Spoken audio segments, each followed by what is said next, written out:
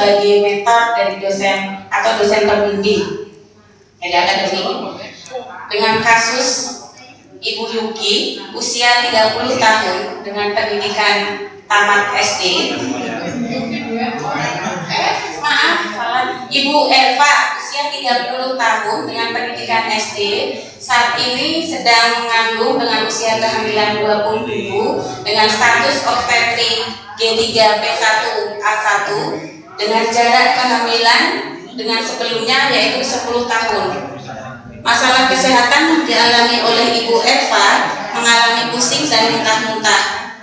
Selama sejak trimester kedua, eh sejak trimester pertama belum pernah melakukan pemeriksaan AMC dan kelahiran pertama dengan bukun bayi.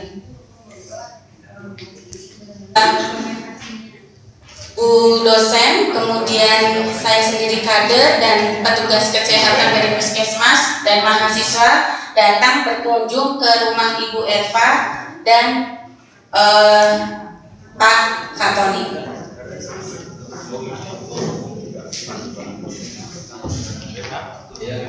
Alhamdulillah sehat nih, kemarin. Alhamdulillah. Assalamualaikum Pak. Oh, iya. Salam, Pangapunten ganggu nggih. Nun sewu niki kula rombongan iki nggih. Kula saking puskesmas pun kenal belum nggih? Belum. Derek apa sih? Wae kenalen kompetensi mari puskesmas. Oh iya jadi.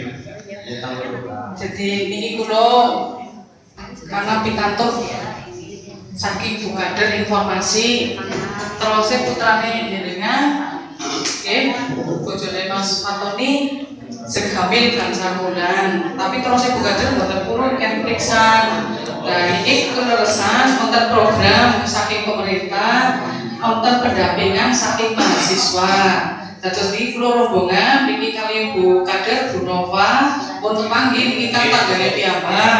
Terus ini untuk dosen saking Universitas Maju Makmur, dan ini untuk bak mahasiswa sing mangke niki bak mahasiswa niki badhe ngancani mendampingi Mbak Eva selama proses ini hamil kesannya pakai sehat dan ini sekaligus nonton pakai saya pakai dari seksi pak saya pakai tumut nih katakan Bu Eva ini Mbak Eva kan Bu tinggi Oke, oke Pak. Jelas ya. Bu, Bu. Pak? Ya, mau kan puskesmas. sehat Eva Ya kita di situ.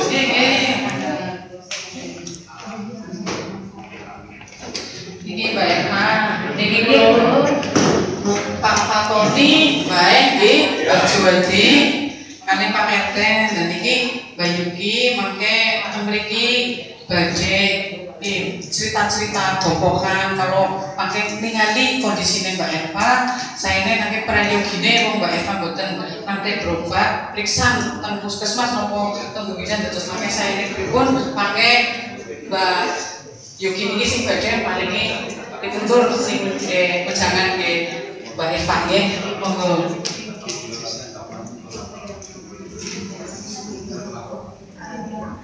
Bu Eva Bu, derenge terkenal Kepri. Kulo namanya April Universitas Maju Makmur Ibu. Kulo iki selaku pendamping dari mahasiswa, mahasiswa kulo namanya Mbak Yuki. Nah, menika mengke kira langkung kalih minggu badhe merawat Bu Eva ingkang sama niko sawet ambil ibu sebelum kansal sasi nggih. Nggih, kansal sasi. Sampun kansal sasi lah menika menawi ibu wonten napa kendala, masalah terus badhe butuh informasi kesehatan saged konsultasi kali Mbak Yuki. Oh, nggih. Dan iku kula mangke bayar apa mboten, Bu? Wong nek periksa niku bayar ya, Bu? Bu Eva punya BPJS buatan nggih? Kan Saya punyanya Jamkesmas itu, Bu. Oh,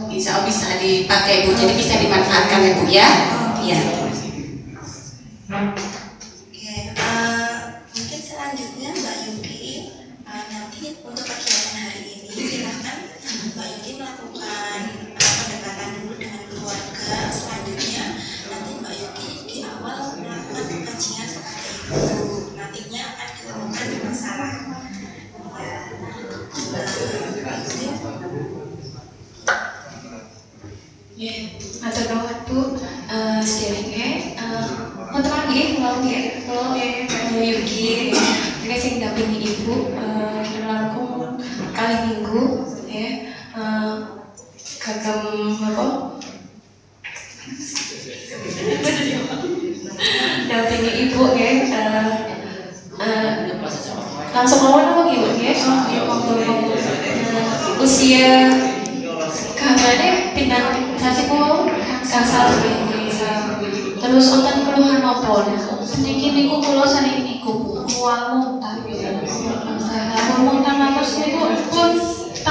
tahu bapaknya niku boten parang maaf bu jadi kok kok piye muntah mati. Namanya muntah mati terus niku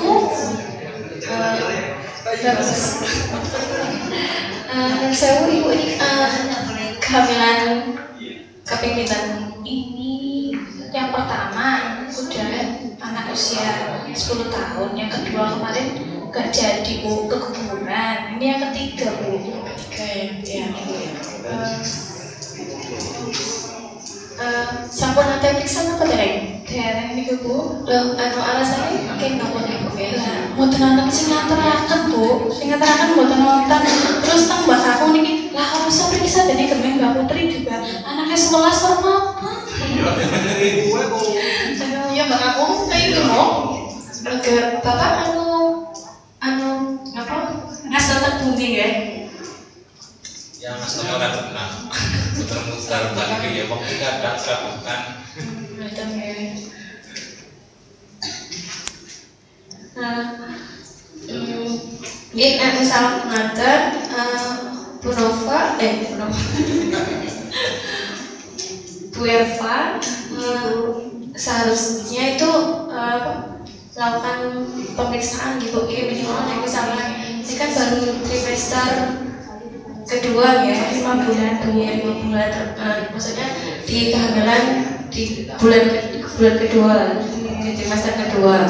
Nah itu eh, dalam pemeriksaan minimal itu empat kali. Ya minimal itu empat kali. Jadi eh, untuk bisa me- apa, melihat nanti ada gejala atau gangguan apa yang eh, menyertai dalam kehamilan harusnya ibu eh, apa melakukan pemeriksaan gitu. Nah nanti eh, mungkin motivasi dari suami keluarga yang bisa membantu ya. Ben apa nih kok? Kehamilannya lancar sehat. Wih pak, bener ya pak. Saya sebenarnya juga pengen periksa bu, tapi mau tenang ke sini nanti. Oke, bener ya pak. Hasil ya pak. Nggih Bu, niki eh, dengan adanya program eh, yang dinamakan OSO ini nanti eh, ke depannya ibu tidak perlu khawatir akan kesulitan apa namanya untuk mencari pendamping ketika mau berobat ke fasilitas kesehatan. Nah, nanti akan difasilitasi oleh mahasiswa kami untuk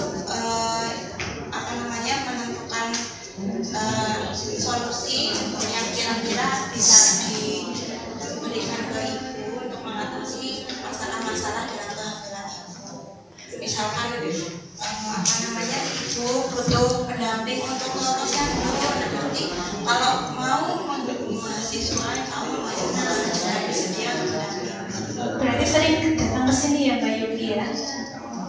Iya, nanti eh, ke depannya eh, kami serta mahasiswa mungkin akan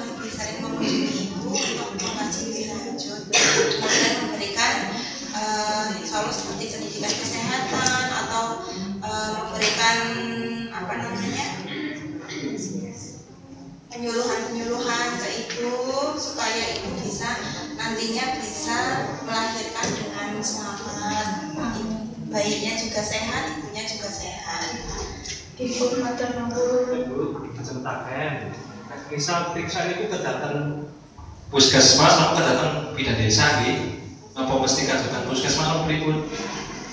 Kalau bisa, kalau misalnya bidan desa juga nggak apa-apa, Pak. Tapi lebih baiknya ke puskesmas terdekat karena di situ juga fasilitasnya sudah lengkap. Dia Mbak Kakung, Bapak, jadi mungkin eh, bisa ini lagi ya Pak ya ibunya diajak untuk periksa lagi gitu ya. Oh siapa nanti kalau misalnya nanti ada kendala saya sama mahasiswa beserta mentor dari eh, akademik kita akan bersama-sama jangan khawatir Pak siap. Oke mari mungkin eh, oke singkat cerita eh, untuk kunjungan pertama di, eh, di kunjungan pertama sudah dilakukan identifikasi masalah. Kemudian untuk kunjungan kedua singkat ceritanya melakukan RTL dengan dosen pembimbing beserta mahasiswa. Itu dari kami. Terima kasih. Wassalamualaikum warahmatullahi wabarakatuh